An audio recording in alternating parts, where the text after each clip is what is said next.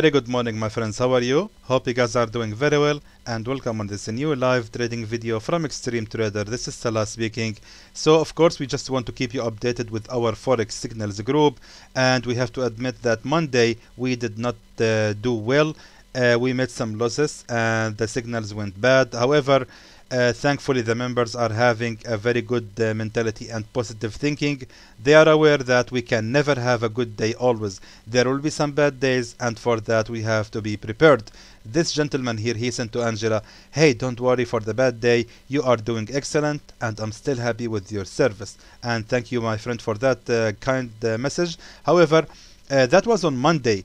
Let's see what happened on Tuesday yesterday as we can see we reduced the losses to the maximum 10 pips of loss 5 pips of loss and the third signal 15 pips of loss against 20 pips of loss on the EuroCAD and 50 pips of profit for the USD JPY.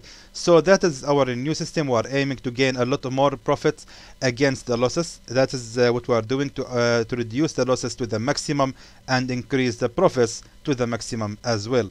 So uh, we are doing so far really well I think and that can be seen in these good messages we have received from the members. Uh, this gentleman said I lost EuroCAD still good and beautiful. This guy here also he said he have made almost $200 profit for one day. That was May 19 which is yesterday. So I'm really great uh, grateful and thankful for these uh, messages. And I really hope you guys will enjoy uh, and make a lot of profit with our signals. And I really wish it will be a very profitable week for everyone.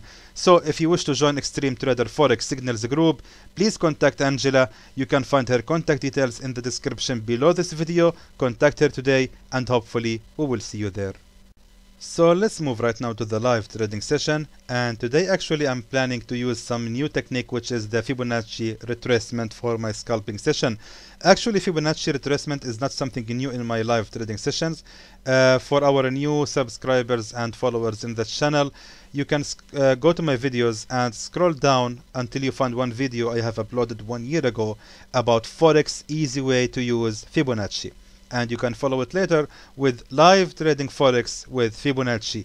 Why this one has a 10,000 views while this one have 8.8 thousand views I don't know really because this video is totally based on the first one.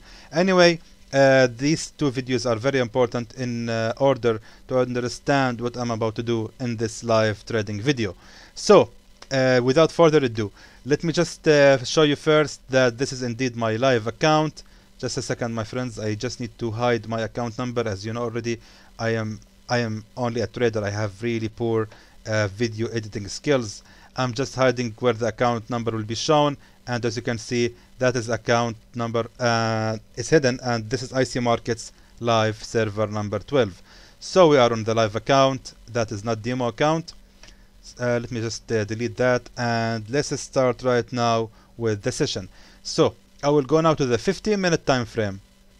And I will start with the pound NZD I'm just uh, trying to find a good and decent setups where actually I can find or locate the first attempt of each Fibonacci retracement. And of course I'm not going to blindly rely on the Fibonacci retracement. I will just uh, use them to confirm if this is indeed a good support or resistance level so right now the Fibonacci retracement, uh, oh sorry, the pound uh, pound Canadian is on Fibonacci uh, retracement 38.2. I will wait for it to reach uh, number 50, and if we look uh, closer, let me just uh, okay adjust this one. If we look closer, we can notice that this level 50 here. Oh my God. Okay, that's good. Okay.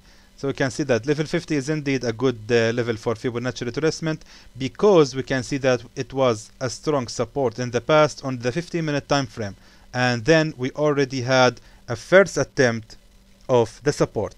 So it's actually a good idea to place a buy order on the Fibonacci level 50 because as I said we're having here a strong support which has been recently broken out. Not only that of course, we need also to study the chart. We need to look at the bottom so we can see that we already having here a double bottom. Therefore uh, most likely the general direction for the pound Canadian uh, now is gonna head up. Therefore uh, placing buy order for this pair is actually gonna be the best option possible. Now all we need to do is just wait for some time until the pair uh, I think the candle is gonna fall down uh, very short in very uh, short time. I mean sorry about that. Okay I think it's gonna go down shortly. Just 13 pips more to go. Uh, let me now pause this video just until this happens or I will try to find some other pair to save your time I just wanted to show you this actually which is gonna be a wrong use of the strategy and I thought it's important to explain to you that we should not use this kind of uh, scalping. So of course I see this uh, setup on the pound JPY and I have drawn my, my Fibonacci retracement like that.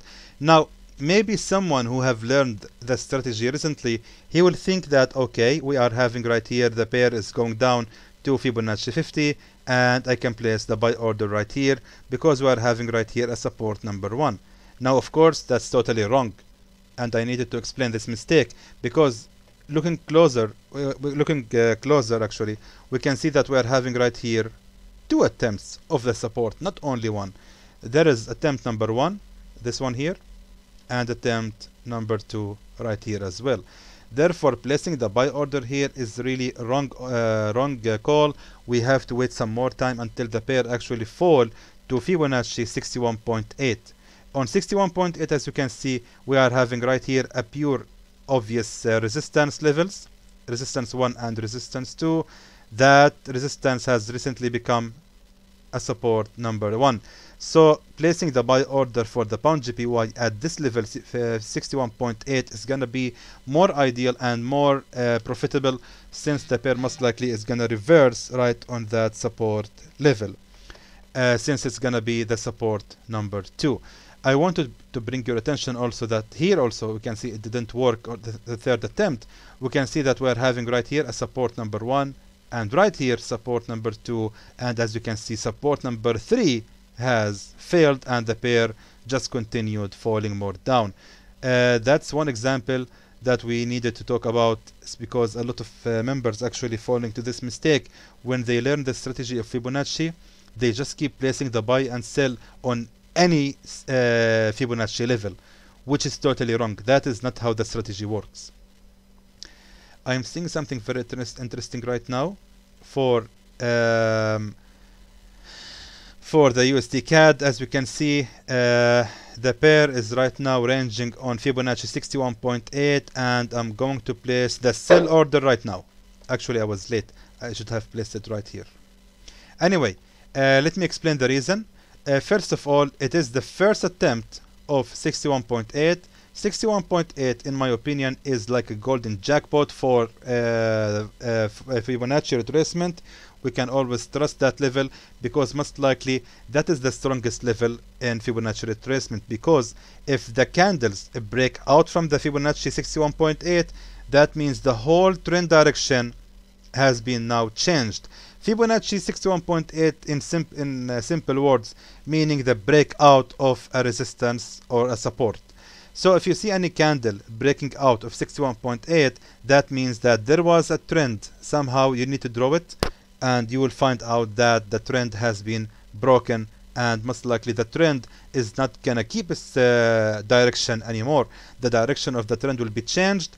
Most likely what will gonna happen is the pair is gonna fall again retesting the broken trend line and continue rising that's why 61.8 is one of the strongest levels and that is also another reason why we are trusting the first attempt of 61.8 because it's uh, not always happening that the pairs or the candles can actually the market can break out from the 61.8 at the first attempt. Uh, uh, it's happening but not that often time not not often.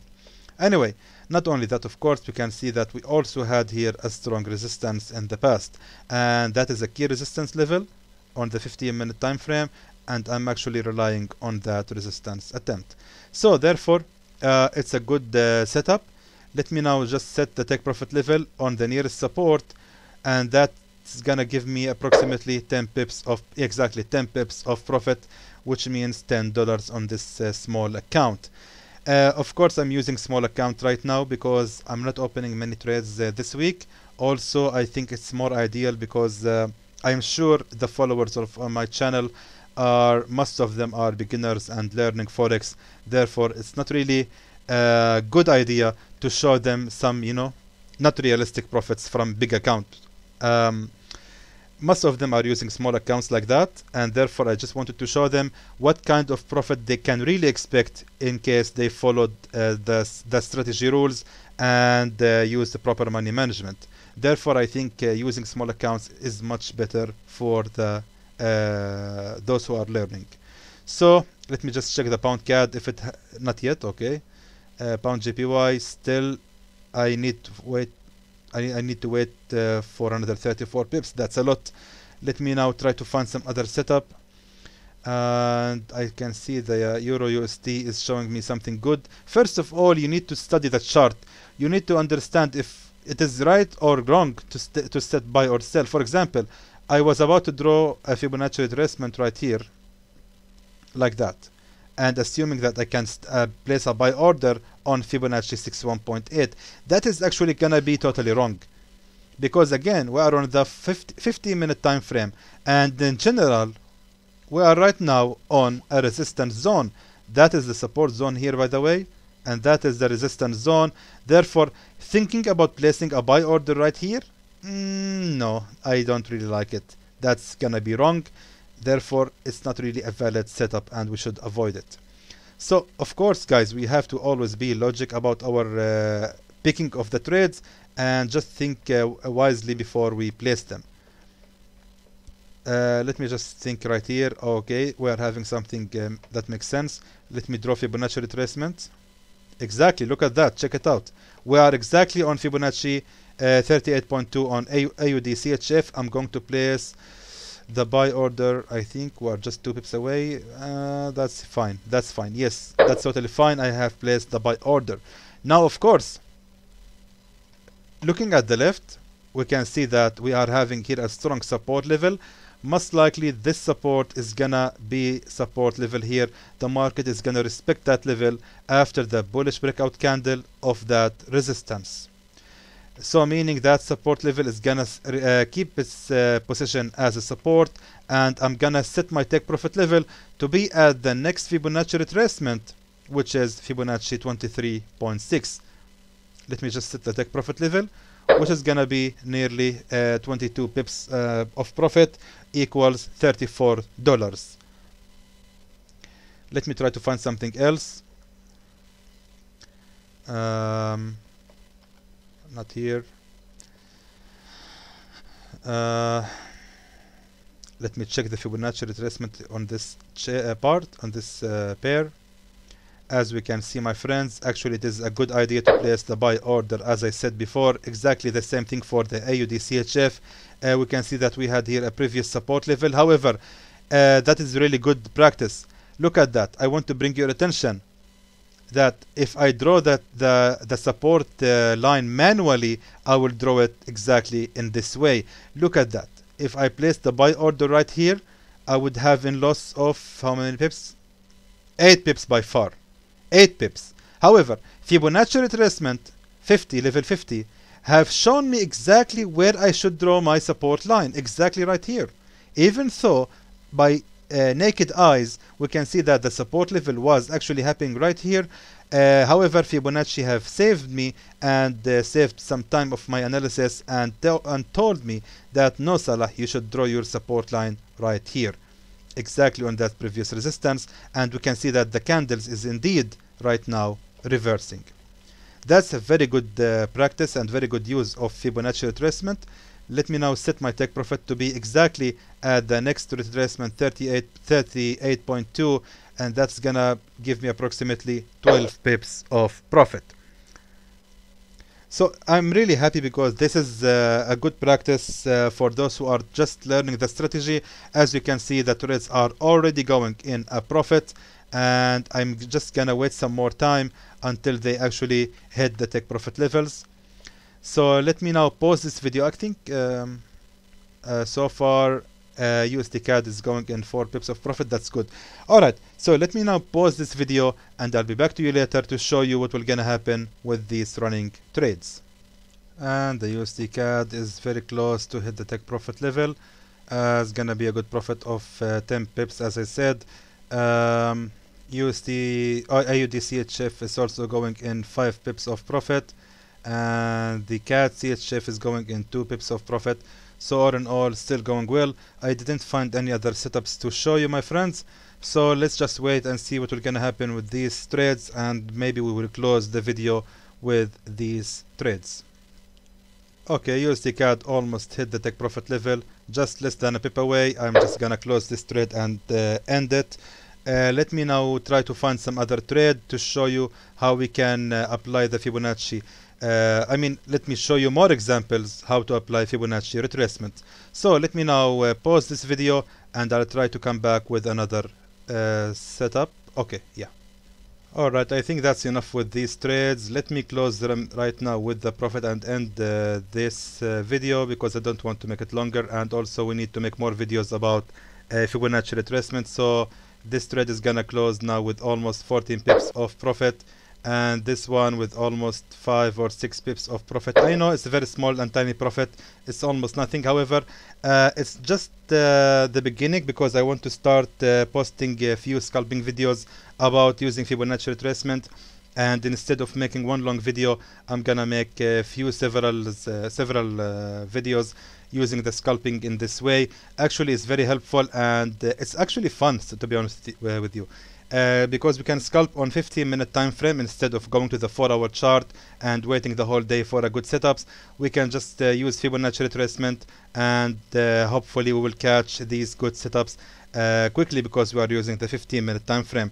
Look at that the pound CAD the one I was waiting for. Actually that is the reason I closed the video early.